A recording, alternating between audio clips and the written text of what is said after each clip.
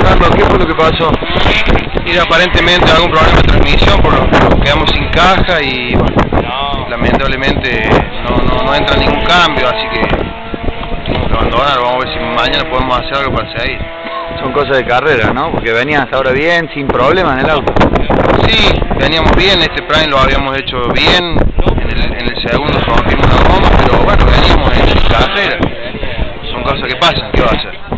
Gracias. Gracias a ustedes y bueno, esperemos que mañana podamos solucionar para seguir.